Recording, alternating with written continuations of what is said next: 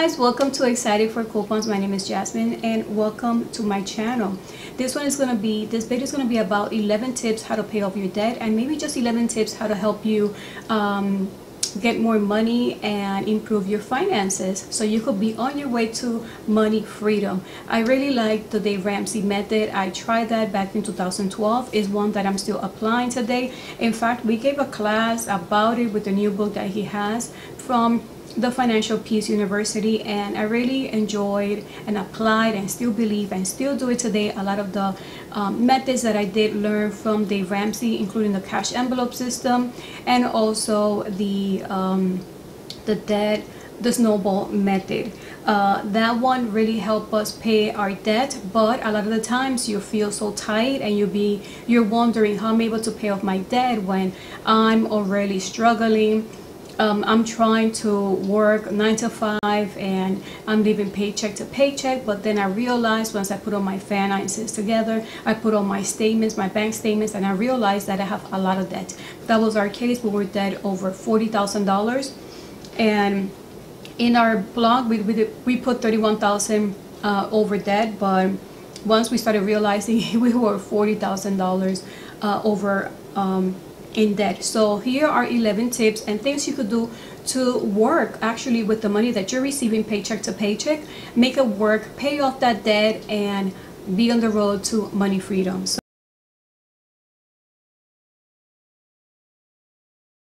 once we well one thing is key before you find out how much you're in debt how would you know if you're in debt what you need to do first is get your statements together your bank statements together. If you have one bank or two or three put them together and then month by month get together three to six months and then start um, applying all those expenses into categories. If you're dining out put them in the dining out. If it was just a groceries put them in the groceries column and on the categories. And that way you'll be able to know exactly how much you're spending per month on each category that's how we were able to see that our grocery was one of the highest, the top um, expense besides mortgage and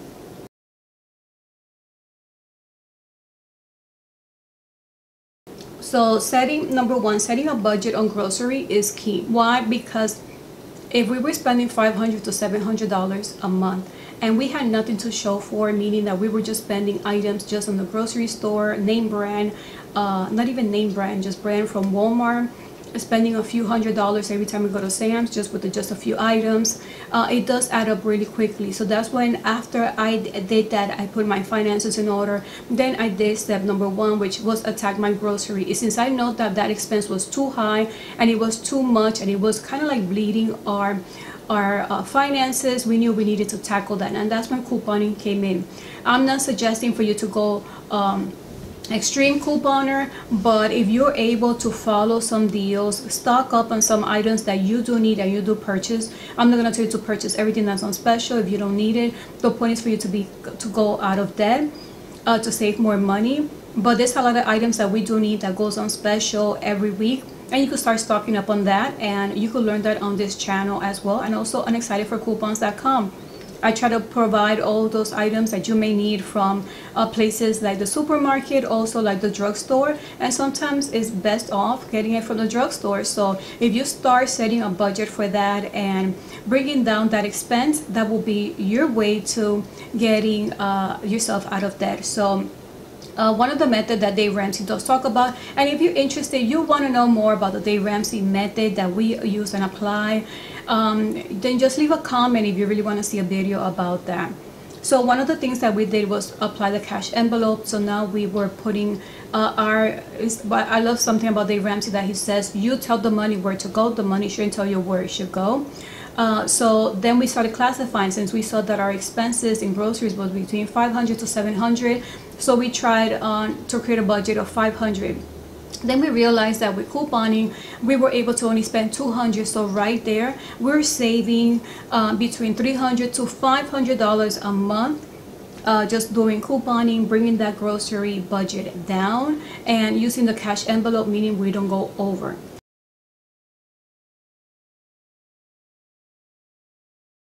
uh, number two, creating a budget on dining out. Our second highest expense on our part was dining out. Uh, sometimes you feel like, oh, we, we don't go to fancy restaurants, we don't overspend. Maybe we only go once or two times a month, um, but that wasn't our case. Our case was both. We would go down, dine out, dining out fancy, but then sometimes uh, it would just be like places we love Chick-fil-A and we would just get the menu and then we would upgrade it to get the milkshake for the family of four and before you know we, we were spending over 20 to 25 dollars a week uh, sometimes just in one day just in Chick-fil-A alone.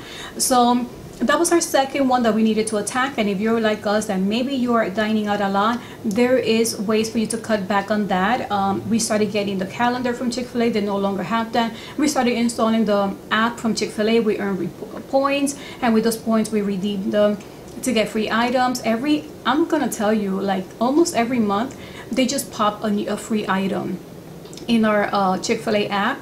So those, those are free items and now we are getting points and we're finding ways how to get things free. Um, other ways was uh, the Shopkick app, app. The Shopkick app, uh, just for scanning items in the store, just from walking to a store, we're getting points and we redeem those points for different gift cards that we use for dining out. So there's different ways for you to actually cut back on that expense. Don't limit yourself from going there, but just find ways how you can get it for a lot less.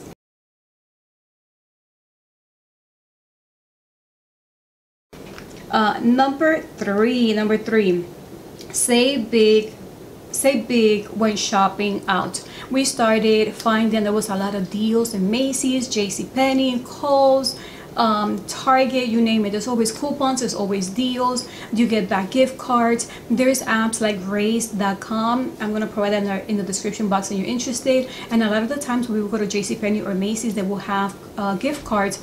Um, it, it, will tell you right now this gift card is worth 25 but you could get it for 15 right there we're saving um, and we had another app called survey.com and this app it does take a long time before you read you get some good points but um, just for having the app I don't even open it. I just have the app on my phone and it will know when I'm in a store. So let's say it will know it will ask me were you in JCPenney questions? And then it will say here's a coupon 10 off 25 so since my husband has the app too we both will get coupons. So the next time we will shop at JCPenney we use that coupon. We sometimes were able to use the coupon uh, from the store, from emails, um, and then we go to Raise. We use a gift card that's worth 25, but we spent 15 for an example.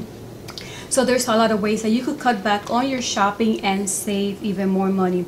Also, that shop keep Shopkick app came in handy when our kids were going to back to school and we were really tight in the budget and we needed to buy them uh, brand new sneakers, the book bag and all that stuff and Shopkick was, was one of those apps that we would go to Target, scan a lot of items, got points, walk into the store, got points and we were able to redeem those gift cards for Target, uh, Foot Locker I believe and other places so uh, I believe they have J.C. Penney. They have a, a range of different stores that you could use and redeem those points for.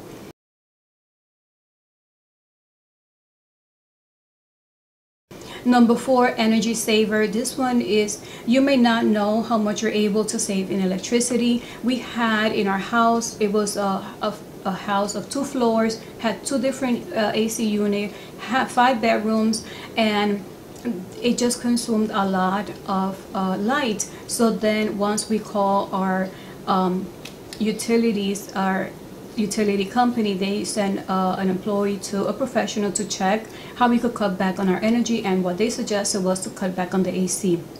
During the day, have the AC between 82 and 85 and that's exactly what we did and that brought down our bill for almost a hundred dollars less a month. So uh, energy saver find out how I am writing a post. So many ways you're able to bring down your energy saver bill. So uh, if you're interested to see a video on that just leave that in the comment section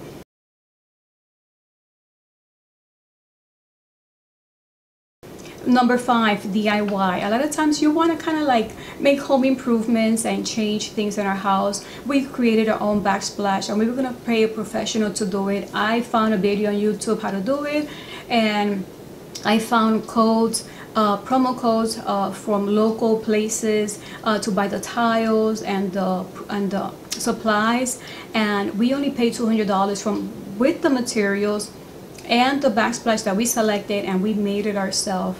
Um, so we only paid $200 with everything included. So that was pretty good. So DIY is really worth it. Another item we did, we love to do some woodworks. So instead of us buying uh, benches or wood items, we make it ourselves. There was this wood bench that we did for our bedroom.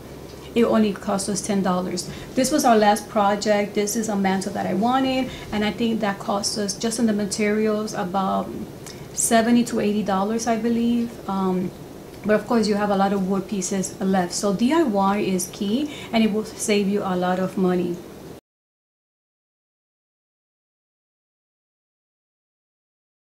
Uh, number six, entertainment movie theater. Um, this is one that we were able to also save a thousand dollars a year. There was one year that I kept track of all the movies we saw and how much we have saved by not paying for those tickets.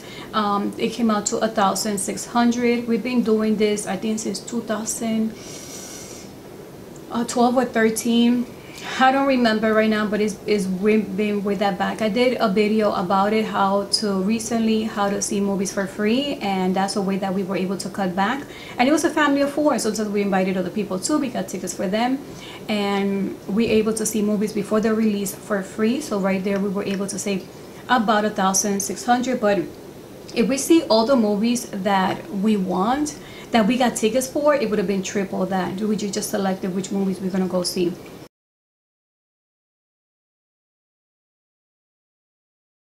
Number seven, cashback is your friend. Ebates just changed their name, but that's one that is good. Top cashback.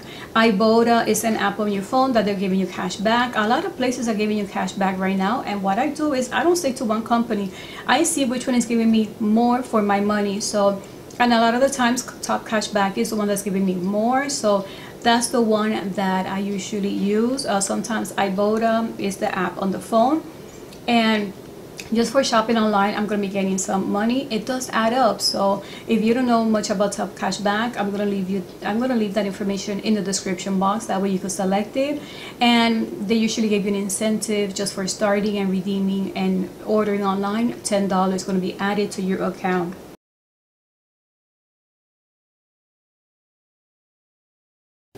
Number eight, this one saved us about $300 a year, which is mow our own lawn. Um, in the, especially in the summer, sometimes you have to mow your lawn once a week and that could really add up. So if you mow your own lawn, and that was something that my husband did with the kids, and that was pretty interesting. That's how they started kind of like writing their own, right, driving something so young. Um, but it was interesting. I know it could be a little bit hot, especially in Florida but mowing your own lawn is key and it will help and it will save you money throughout the year.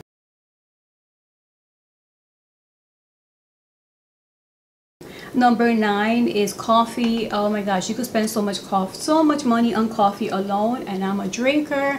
I will drink two or three times a day. So imagine if I buy three times in a day that will be $15 could you imagine how much that will be in a year? So what I do is I love Dunkin Donuts. What I do is I will make it at home but I also will get some from the Dunkin Donuts. There is this app called Mobee. Um, this one just gives me a few points um, for answering a few things going to a store as well and doing kind of like a review or letting them know what's on stock. Simple stuff like that I will get 200, 300 points depending on the task, and I will always redeem um, my points for gift cards of Dunkin' Donuts. So if you're interested in Mobee app, I'm gonna provide that as well. I always find ways. I'm like, I'm gonna cut back, but I really love that place, so I find ways to make it work.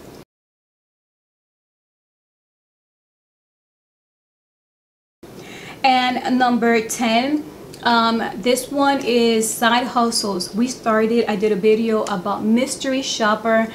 Oh my, when we were really in in in, in debt, uh, it was it was shocking. It was, it, I, I couldn't believe we owed that much money and and we were going paycheck to paycheck. We were trying to make it work.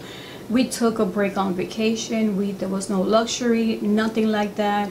Um, it was really hard and um, well, I needed to find other ways how we can make it work and through couponing really helped us. It brought down a lot of money a year and all those tips helped us a lot. And another thing we did was mystery shopper once we, the, we were sometimes just couponing in places that um, mystery shoppers will give you, hey, just check if the uh, rack has these products, take a picture, $5 for that, $7, $10, 12 20 um, and we started doing mystery shopper and we easily earn up to now i have like $500 that we have uh, uh, received and my, i will put out how much my husband has on this section um, just using the app and it was worth it. We they needed that money and side hustles from mystery shopper uh, i did a video the top seven because we had so many but these are the top seven that i feel like are worth having i'm going to provide the video on this section but a, a new side hustle that we have is uh, DoorDash, Instacart, Uber, Uber Eat. Uh, there's a new one that my husband has called Posh something. I'm gonna provide all those in the description box as well. Um, Amazon Flex, and those are and we have two new ones that we haven't tried out yet. We just got approved on but we we're going to test it out. If you're really interested in those side hustles how they really work or come behind the scenes you want to see those videos i'm telling you just leave the comment in below so that way i'll know you're interested on that video. So that's number 10 the side hustles and mystery shopper really really are helping us boost that income and so that way we're able to use that money to pay off our debt.